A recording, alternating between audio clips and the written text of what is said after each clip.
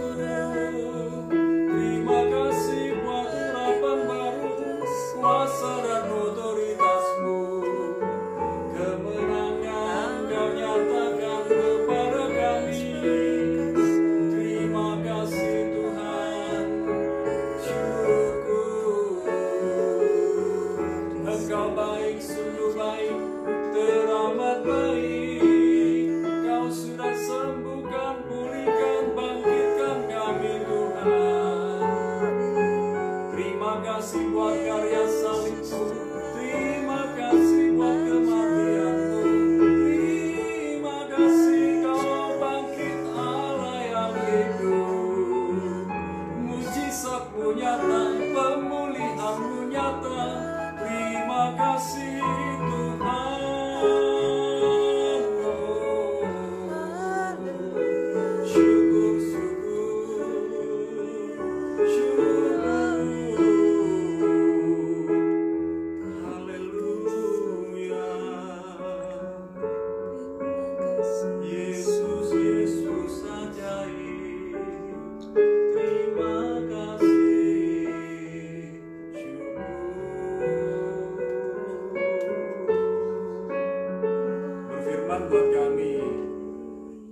Kami siap untuk mendengar firman-Mu. Nyatakanlah isi hatimu, karena kami percaya rancangan-Mu terjadi dalam hidup kami. Engkau sanggup berbicara kepada kami masing-masing lewat berbagai macam cara, termasuk lewat mimpi. Terima kasih Bapak, berfirman buat kami, di mana pun kekasih Tuhan berada, biarlah mereka bermimpi lagi. Dalam nama Yesus, amin. Ya, shalom kekasih Tuhan di mana pun Anda berada. Hari ini kita sadari bahwa Tuhan itu baik, sungguh baik, sangat baik. Kalau kita mau bersyukur kepada Tuhan, bahwasanya Dia baik, bahwasanya kasih setianya tidak pernah berubah, dulu, sekarang, sampai selama-lamanya. Nah, saya akan sharing tentang mimpi dari Kejadian 37 ayat yang kelima. Kejadian 37 ayat yang kelima, saya baca sekali lagi. Kejadian 37 ayat yang kelima. Ya. Pada suatu kali bermimpilah Yusuf, lalu mimpinya itu diceritakannya kepada saudara-saudaranya, sebab itulah mereka lebih benci lagi kepadanya. Nah, kekasih Tuhan, yang namanya saudara-saudara dari Yusuf itu sudah benci kepada Yusuf karena Yusuf itu diberi pakaian yang sangat indah, maha indah oleh ayahnya. Dan yang terjadi ketika Yusuf punya mimpi dan diceritakan kepada kakak-kakaknya, makin bencilah kakak-kakaknya. Dan dalam kejadian 37 ini kita bisa melihat bahwa Yusuf tidak hanya beroleh mimpi, tetapi Yusuf juga menceritakan mimpi.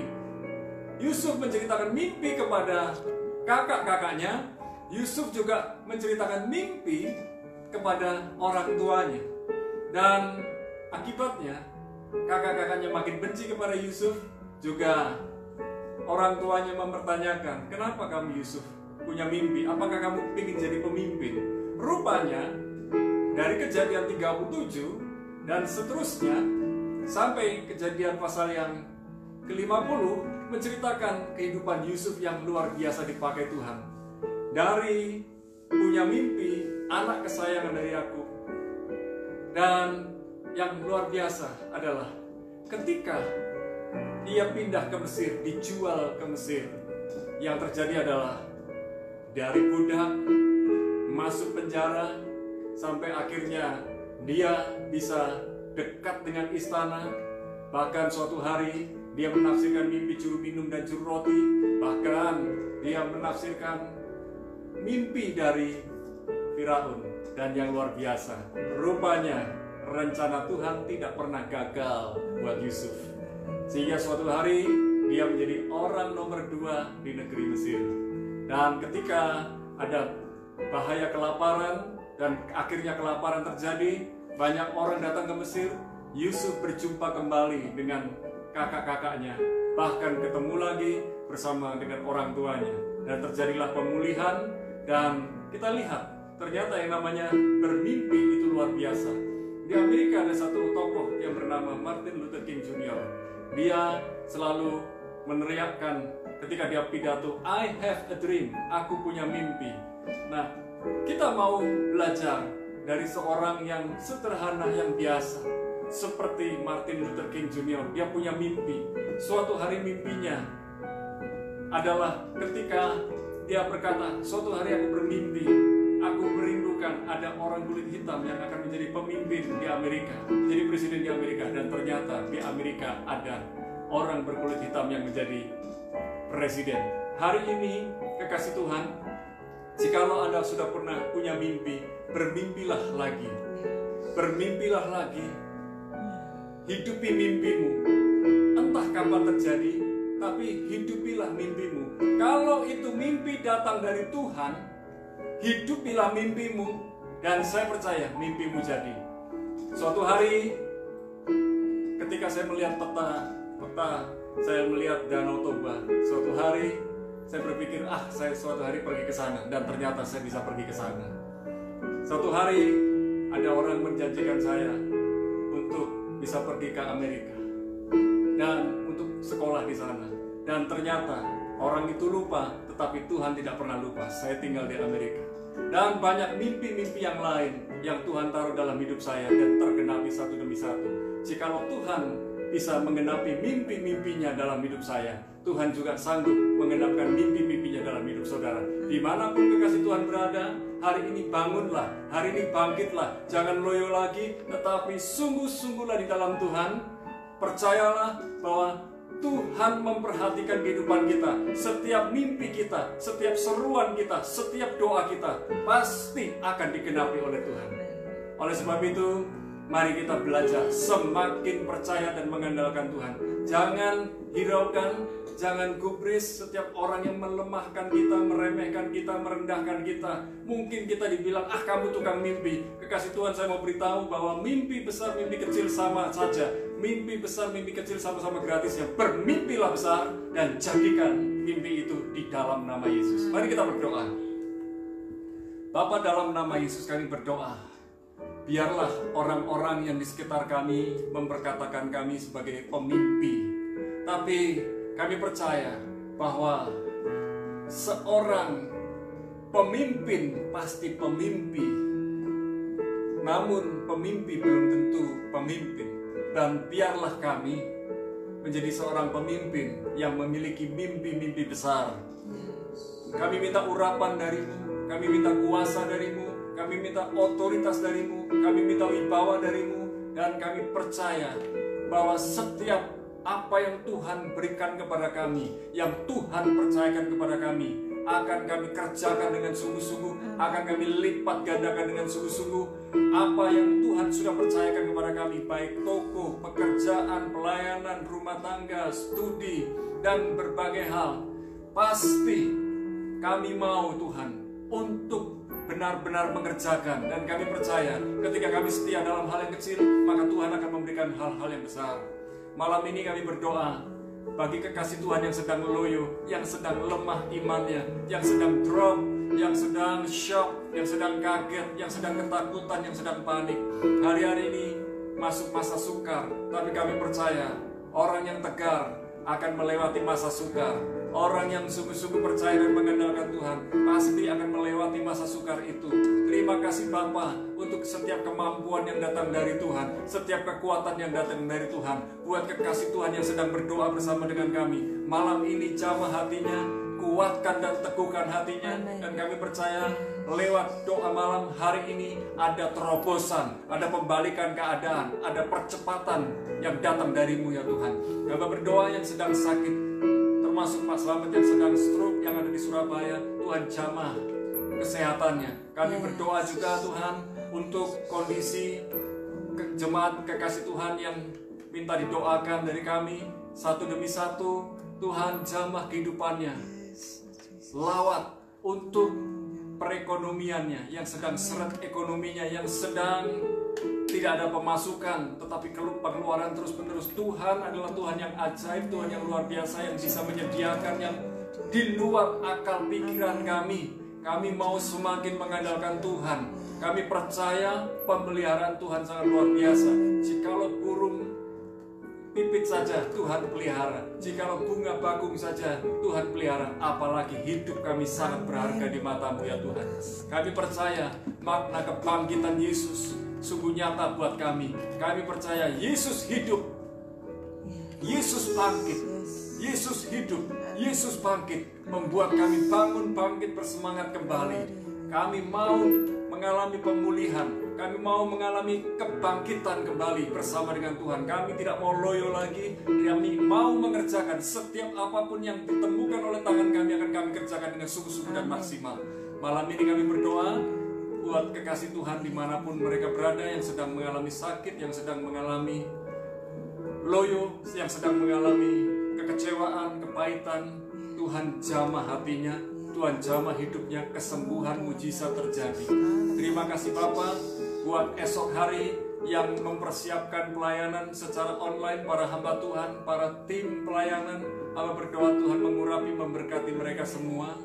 Sehingga ketika tayangan-tayangan itu diudarakan, tayangan-tayangan itu live streaming, lewat sosial sosial media hamba berdoa kuasamu otoritasmu dinyatakan nama Tuhan Yesus tersebar ke seluruh dunia terima kasih Bapa kami berdoa dari Indonesia dipulihkan. Indonesia untuk kemuliaan Tuhan. Indonesia sembuh, Indonesia bangkit, Indonesia pulih dalam nama Yesus. Kami berdoa untuk ASEAN, negara-negara di ASEAN baik dari Indonesia, Singapura, Malaysia, Kamboja, Thailand, Filipina, Vietnam, termasuk Timor Leste, Myanmar. Kami berdoa jamah Tuhan. ASEAN menjadi milikmu. Bahkan kami berdoa untuk Asia. Seluruh Asia ada di dalam genggaman tanganmu. Asia dipulihkan Tuhan. Asia dijamah Tuhan. Timur Tengah dijamah, dipulihkan Tuhan. Biarlah ketika makna kebangkitan Yesus itu dinyatakan di hari Minggu. Orang-orang yang di Timur Tengah menyembah, memuji Tuhan, Amin. berbalik kepada Yesus Kristus Ya, sebagai. Tuhan Allah Raja dan Juru Selamatnya. ya. Kami berdoa untuk benua Afrika, untuk benua Eropa, terjadi pemulihan dan kami percaya esok hari ada kebangunan, ada kebangkitan di mana Yesus Kristus bangkit. Di situlah Eropa, Amerika, Afrika, Australia, Asia mengalami kebangkitan, mengalami pemulihan. Amin. Terima kasih Tuhan buat segala karyamu yang ada di kayu salib. Terima kasih untuk karyamu yang ada kebangkitan itu dinyatakan. Terima kasih Bapak. Kami bersyukur, kami berdoa. Kami berdoa untuk tempat tinggal kami masing-masing. Di mana pun kekasih Tuhan berada, Tuhan nyatakan. Tuhan nyatakan. Tuhan nyatakan. Pembelaanmu, pertolonganmu dijauhkan dari malapetaka, mara bahaya, dijauhkan dari pencurian, perampokan, kecelakaan, tetapi datanglah berkat, pemulihan, pertolongan dari Tuhan, hikmat dari Tuhan. Kami percaya kekasih Tuhan yang ada di Rok Jajak, yang ada di Banyuwangi, yang ada di Jawa Timur ini khususnya, dan Indonesia, serta yang ada di dunia ini. Kami berdoa, kami bersahati kekuatan Tuhan turun atas kami. Ketika kami ada di rumah, kami tidak sendirian, tetapi kami bersama dengan Tuhan. Kami bersama dengan keluarga kami. Ini waktunya Tuhan. Kami saling menguatkan, saling menghiburkan, saling menolong satu dengan yang lain. Terima kasih Bapa, malam ini kami membuka kedua belah tangan kami. Alamilah mujizat dari Tuhan. Alamilah kesembuhan dari Tuhan. Alamilah pemulihan dari Tuhan. Alamilah terobosan dari Tuhan. Alamilah pembelaan dan pertolongan dari Tuhan. Dan malam ini, terimalah segala berkat itu di dalam nama Bapa, Putra, dan Roh Kudus di dalam nama Yesus. Yang percaya katakan bersama dengan saya, Amin. Amin. Selamat menikmati kebangkitan Tuhan Yesus Kristus dan percayalah kebangkitan Tuhan Yesus Kristus memaknai supaya kita bangkit dalam segala hal yang baik. Tuhan Yesus memberkati.